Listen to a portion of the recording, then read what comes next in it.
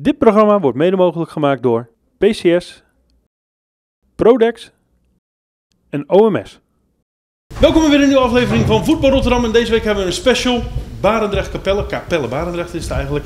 En dan noemen we altijd eh, de trainers. Tenminste, altijd. We hebben het de eerste keer gedaan. En als je dan toch halverwege bent en je hebt de mogelijkheid om het te doen, dan moet je het denk ik ook doen. Dus we hebben Jack van den Berg bereid gevonden om eh, even terug te blikken op de eerste seizoenshelft.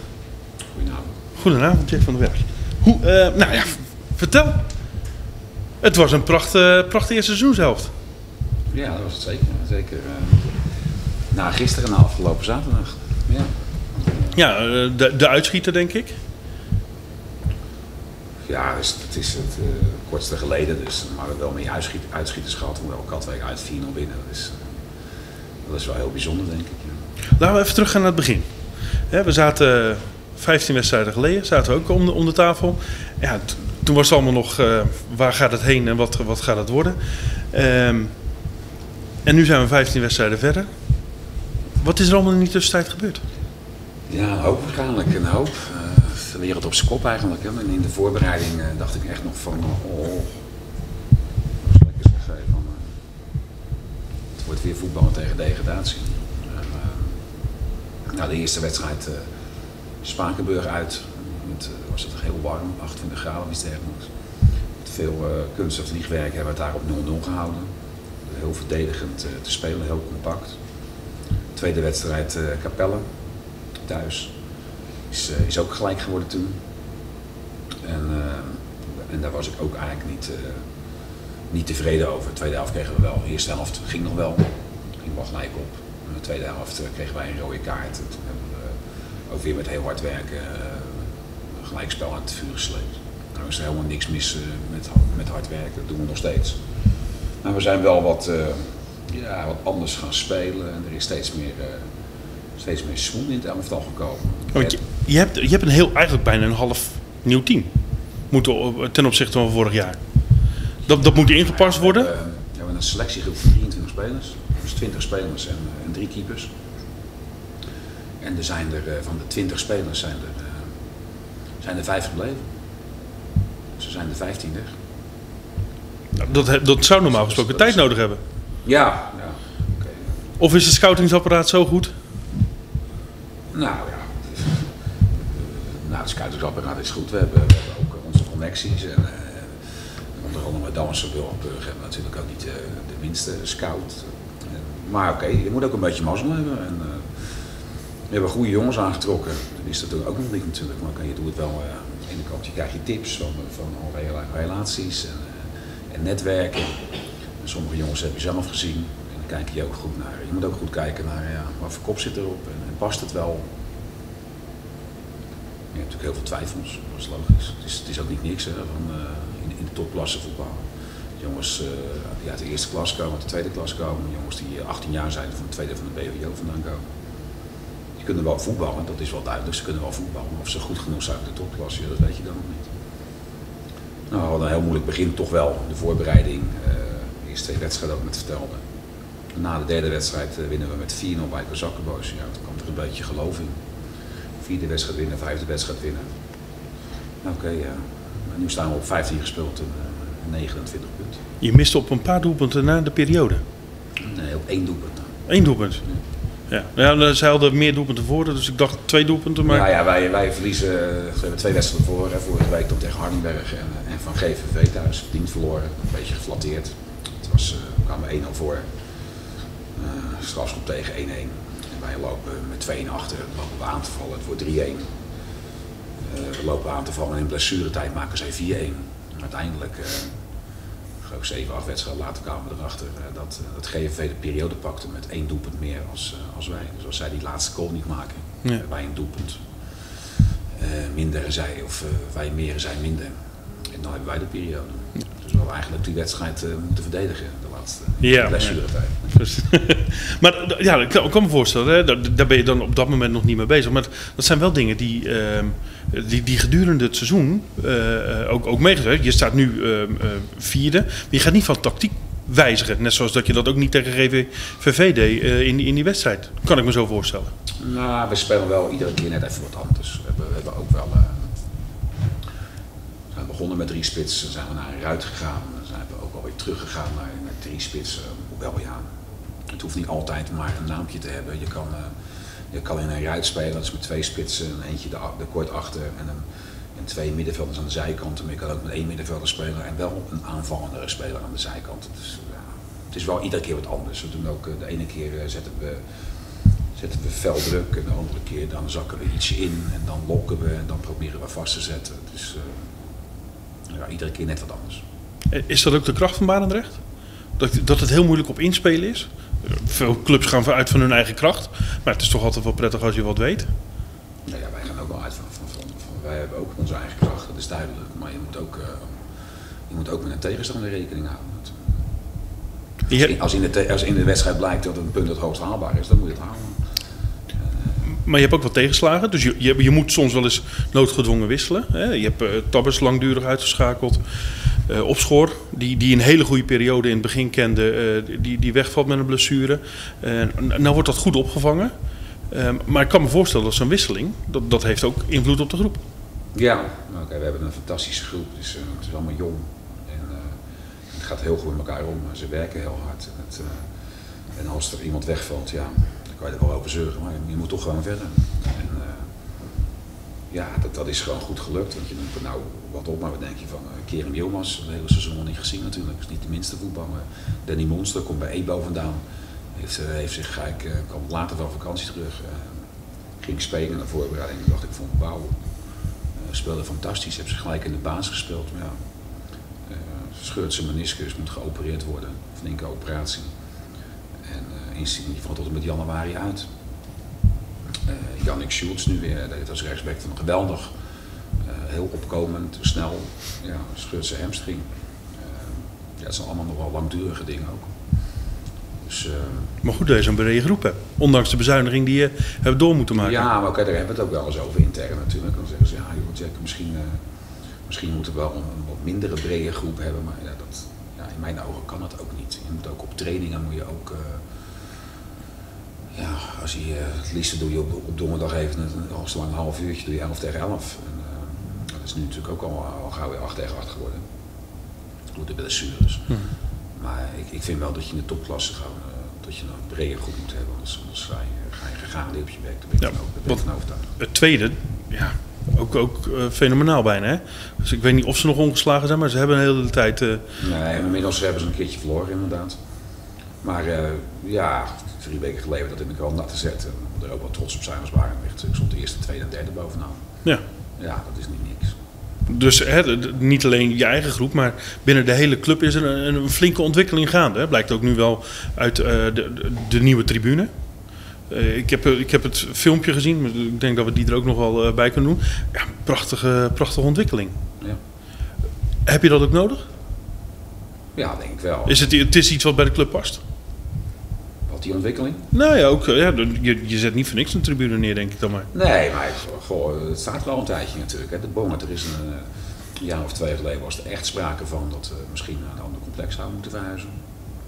Want uh, ja, de Bongert staat er al een tijdje. Ook mensen die komen, die hebben het vaak over een goh, fantastisch complex. Ja, wat ze dan bedoelen is uh, dat het waarschijnlijk heel groot is. we hebben natuurlijk ook bijna 2100 leden. Natuurlijk een enorme grote, een enorme grote club. En ja, we hebben nou laatst dus de, de, de, de, de bestuurskamer, de, de, de, sponsorruimte hebben, is vernield. Dus een beetje bruin café geworden. Het ziet er echt fantastisch uit. Het, we hebben een nieuw veld, een kunstgrasveld. Uh, wat, waar we heel erg blij mee zijn. En nou komt de tribune, ja, zes kleedkamers eronder. Uh, ja, het ziet, ziet, er echt, het ziet er echt heel gelikt, heel, heel mooi uit. En ja, we verheugen ons dan. En wanneer gaat het precies spelen? Het wordt in, in mei gaan we beginnen. Gaan ze beginnen. Want ik, uh, ik zal het niet veel doen. En, uh, en begin september, uh, of begin augustus zelfs al. Nee, begin september, dan is het al klaar. En komt Feyenoord nog, dat je weet? Zijn, zijn daar al... Nee, daar weet ik nog niks van. Omdat ze vorig jaar zo over het kunstgrasveld... Ik denk, nou ja, dat zou dan een mooie ja, zijn om de tribune... We hopen, we hopen uiteraard dat, ze, dat, ze, dat ze wel komen natuurlijk. En dat, zou, dat zou natuurlijk heel mooi zijn voor, voor een Feyenoord support. ja, ja, Barendrecht ligt vlakbij, dus het is... Dat is ideaal voor alle sporters om, uh, om Feyenoord te zien. Ja, ik heb wel begrepen dat ze in de winterstop gaan ze geloof ik naar IJsselmeervogels. Nou, die heeft ook uh, kunstgrasveld. een stuk minder was dat van ons trouwens. Dus misschien dat, dat de trainer er inmiddels iets anders over denkt. Dat hoop ik maar. Ja. Ehm, van de week heb je aangegeven dat je nog een, een achtste jaar eraan uh, aan vastplakt. Vorig jaar heeft het niet veel gescheeld of je, je had bij Spakenburg gezeten. Het is september of november. Waarom al zo vroeg aangeven? Vertrouwen? Nou, ja, dat sowieso. Als je zeven jaar bij een club zit, dan, dan ken je natuurlijk heel de club en dan ga je met iedereen heel goed om. Uh, dus ja, ja, je wordt ook wel eens gebeld en, en, en, er wordt geïnformeerd van joh, kunnen we je bellen en wil je praten en zo. En, uh, ja, de Juitersclub zat er niet bij en bovendien, ik heb het, ik heb het gewoon echt hartstikke naar mijn zin. En, en deze spelersgroep is, is genot om mee te werken. En, ik, Barendrecht laat me ook werken. En uh, in de afloop wel een biertje drinken. Dus ik vind Barendrecht gewoon een fantastische club. Je eigen ambitie is volgens mij nog steeds uh, ergens assistent worden in het BVO. Ja, ja, ja, ambitie, ja. Ja, ik heb toch altijd een beetje, ik, ben, uh, ik loop er wel eens op de schelden, maar volgens, volgens mij ben ik zelf ook een klein beetje Calvinistisch. uh, ja, maar dat, dat is toch wat anders. Kijk, de, de, de topklas en de hoofdklas, dat, dat, dat, dat, ken ik ook wel. Keer ergens assistent zijn, dat, ja, dat, is, natuurlijk, dat is een hele nieuwe omgeving natuurlijk. Als je kijkt naar uh, de club, uh, vooraf hebben, heb je uitgesproken van, nou goed, als we ons veilig spelen, hebben we het goed gedaan. Kijkend naar de situatie. Ik kan me voorstellen dat je dat bij hebt gesteld. Of, of ja. zeg je nog steeds vijf punten en dan uh, zijn we klaar? punten zijn we veilig. Ja, ik denk dat we die vijf punten mogen halen. Maar ehm, het wordt natuurlijk heel vaak gevraagd aan mij, ook door de schrijvende pers. Die staat natuurlijk elke week op het hoekje van de kleedkamer. Je kan het ook over doelstelling hebben. Je kan het ook over een proces hebben, weet je. Van dat, je, dat je probeert beter te worden. En dan hou je die vijf punten vanzelf wel. En dan hou je misschien nog wel een keer 29 punten. En uh, ja, ik vind het echt nog veel te vroeg te zeggen dat wij voor een kampioenschap gaan spelen. Uh, de groep is nou sowieso niet meer zo heel erg breed natuurlijk. Er is niet al te veel meer gebeuren. We gaan, uh, we gaan de, iedere wedstrijd gaan we ervoor. En ja, inmiddels ik heb liever dat een, dat, dat een groep zich daarover uitspreekt, weet je wel. We gaan, we gaan weer naar Krankenaria, trainingskamp. Dat is een van die dingen, dat is, dat is echt geweldig. Een groep, uh, groep jongens, groep mannen met, met, met 50 man. En, sponsoren spons erbij, hè? Sponsoren erbij. En dat, en dat, ja, dat is zo geweldig voor de sfeer in een club. En dat is, dat is gewoon heel leuk. Iedere keer weer een hoogtepunt in het seizoen. En laat de spelers, dan, dan maak je ook prijs met de spelers. En, we, hebben, we hebben zelf ook een videoanalisten. Ik laat vaak de beelden zien, Erik Hussen. Uh, ja, een intelligente man werkt bij Trust als directeur. Die houdt ook wel praatjes over teambuilding laat filmpjes zien. Nou, dat is dan, dus op zo'n avond zal ook dan wel de, de nieuwe doelstelling ter sprake komen van wat de spelers willen. Misschien we hebben ze wel eens briefjes in laten vullen van wat denk jij dat, dat we gaan worden, wat wil jij worden, wat wil jij. Oké, okay, dan kunnen we kijken van als iedereen dan zegt van of we kampioen moeten worden, nou dan, dan moeten we dat maar doen. Maar, maar dan niet promoveren toch? Nee, die, nou, die... nogmaals, dat kampioen worden, dat, dat zie ik gewoon echt niet. Dat zou het zou. Maar waarom niet? Ik bedoel, je, hebt, je, je, staat, je, ja, je, je, verliest, je stond tweede, je verliest, dan zak je gelijk naar de vijfde plaats. Win je een keer, word je vierde. Als je kijkt naar het gat wat er zit met, uh, met de ploegen eronder. Ja, iedereen, ja, iedereen kan van iedereen winnen. Het kan en uh, één keer in de zoveel tijd komen dromen uit. Ik ben wel eens met de B-Sportclub van Feyenoord kampioen van Nederland geworden. Met de tweede keuze, de B-Stichting had toen de eerste, eerste 16 ik had uh, de tweede 16 vanaf speler 7 niet met. En toen werden we ook kampioen. Boven de stichting, boven PSV, boven alles. Dus ja, dromen komen wel eens uit. Nee. Het kan wel. Ik zou niet weten waarom niet. Maar even voor de duidelijkheid, Barendrecht gaat dan niet voor de Jupiler Nee, Barendrecht, nee. Is, is er een ploeg, denk je, bij die dat überhaupt zou willen? Zeker nu niet, denk ik, want het hoeft niet. Nou ja, ik denk als, als clubs als als Spakenburg en IJsselmeervogels en de Rijnsburgse Boys en Katwijk, ja, die hebben daar nog misschien nog een beetje het achterland voor. Um, maar waarom zouden ze? Dat want... natuurlijk helemaal niet. Nee, ja, nou, oké, okay, maar uiteindelijk doen ze het ook niet. Kijk, geografisch denk ik dat alleen HC Hardenberg er baat bij heeft om het te gaan doen. Ja, ja maar waarvoor zouden ze het doen? Ja. Ik weet het niet. Om zo hoog mogelijk te spelen. Maar het is... Uh, Kijk, ja, we hebben het er al meer over gehad. Er worden zoveel eisen aangesteld en die gaan ze nu geloof ik wat bijstellen. Want er, er is ook nog geen besluit, hè? Ook over de promotieregeling nog niet. Nee, nee dat, dat is dit jaar nog niet. Hè. Ik geloof dat ze, ze willen het binnen twee jaar willen ze het echt verplicht gaan stellen. Maar dan zullen ze dus ook weer uh, uh, de, de, de randvoorwaarden moeten ze anders gaan stellen, natuurlijk. Dus minder verplichtingen gaan stellen. Maar Barendrecht, nee, we kunnen het ook niet maken in Excelsior, toch? nou ja, volgens mij eh, kan ons aardig omgedraaid worden dan. Hè? Excelsior in een topklasse. Nou, laten we, laten we daar vooral niet aan denken. Ehm wil je nog ergens op terugkomen? Heb je zoiets van, nou, dat, dat hadden we echt even moeten aanhalen? Nee, nou, wat, wat, wat, ja, wat, wat, wat mooi is dat, dat een aantal spelers, uh, dat is helemaal geen, uh, geen kinderzinnen. Uh, een hoop spelers zijn natuurlijk weggegaan, gegaan, wat bij ons, ja, wat minder budget. Dus dat is hun goed recht. Die zijn ook gewoon een goede harmonie de deur uitgegaan. Wilde, wilde een club hebben met ambities. En, en wilde, wilde voor de prijzen spelen en, dat soort dingen meer ja, dan zie je toch meer. Dan zie je dan nu maar dat als je ja, de, de, spelers, maar ook de trainer, ambities, ja, je kan ook gewoon zo graag willen en zo gretig zijn. En, uh, dat een groep toch ook resultaten kan halen. Dat laat Barendrecht nu gewoon zien natuurlijk met, met minder budget. Toen het ook mogelijk is. Natuurlijk moet je een beetje mazzel hebben met het aantrekken van die spelers. En dat de competitie verlopen is. Maar uh, ja, ik ben er wel, ik ben er wel trots op nu ben sowieso trots om trainer van Dardrecht te zijn. Maar ook zoals je ziet, zo het gaat met de eerste, met de tweede, met de derde, met, met alles. Uh, dames, dames afdeling die bovenaan staat. Dan denk je, ja, het is, het is mooi op donderdagavond bij team te staan. Aanstaande zaterdag Capelle. Hoe ga je het aanpakken? Nou, heb je een papiertje? Dan, ja, ik heb ja, Nee. nee, nee, maar ja, dat... het, het zal voor sommige jongens weer speciale gevoelens opwekken. Ja. Nou, ik denk dat de wedstrijd van afgelopen zaterdag niet helemaal in ons voordeel is. Want de Capella zal toch ook wel, uh, ook wel denken van, hé, hey, dat hier niet verder. En het is toch een hele bijzondere wedstrijd natuurlijk. Capelle is, uh, is ook een ploeg die, uh, ja, natuurlijk veel kwaliteit, veel spelers ingekocht, veel routine. Ehm, ja, het is een, wedstrijd op zich, dus ik kan daar geen voorspelling over doen. We gaan iedere wedstrijd doen op zich. Ik vind het niet dat wij, we staan voor op Capelle, dat wij dan favoriet zijn.